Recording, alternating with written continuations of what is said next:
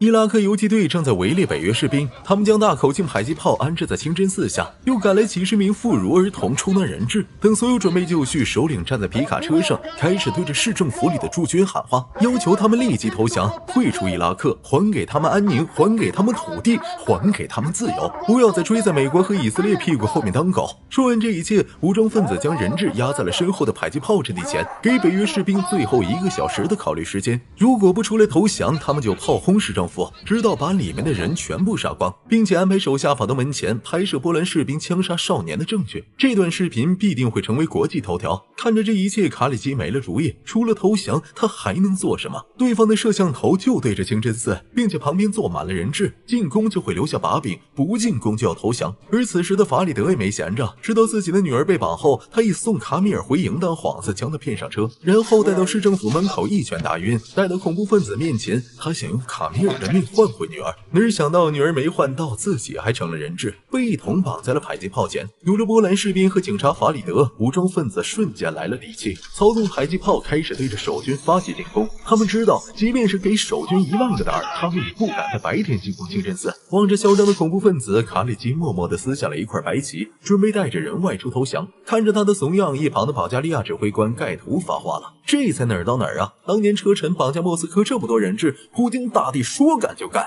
哪像你们婆婆妈妈？你们啥也没干，坐着看戏就行，让你们领略下什么叫做俄式反攻。卡利基听完盖图的话，气得一脚踹在了墙壁上。说的也是啊，同样是一个老大哥教出来的，人家咋就这么有种呢？一不做二不休，干就对了。由盖图领头组成的特工小队就此诞生。他们趁着武装分子祈祷时偷偷溜了过去，而此时的法米尔正被逼着拍摄视频，一方面劝所有波兰士兵投降，另一方面震慑其他入侵者。卡米尔这个孩子本来就憋屈，现在又逼着给自己国家丢脸，弄不好直接就上了波兰头条。在国家荣誉面前，这个孩子虽然怕，但拒绝拍摄，誓死不从。恐怖分子一怒，当即决定砍头示众。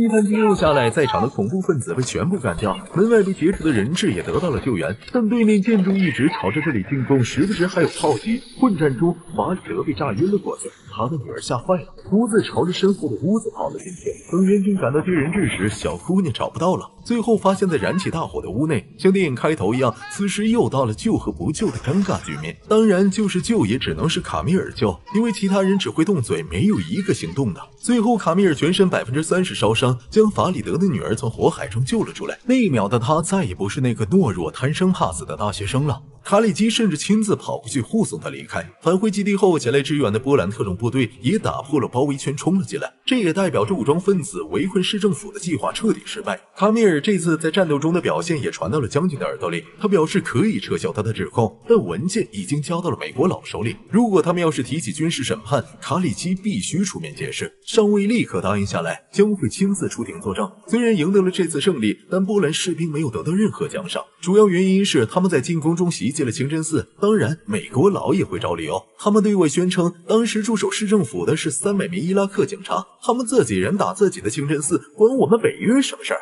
代价是波兰士兵必须签署保密协议。看到这里，只想说呵呵。不过纸终归是包不住火的。后来这件事的真相还是被全球知晓，最后还拍成了电影。片中的卡里基上尉还是本片的军事顾问。为了拍摄这部电影，波兰不惜将重型军事装备从海上运到中东约旦地区，来追求电影的真实性。当然，对于保加利亚那边，人家没有过多描写，估计是盖图说了很多不该说的话，没法表达，你们懂的。好了，本期电影到这里就结束了，推荐指数四颗星。我是舒瑶，我们下期再见。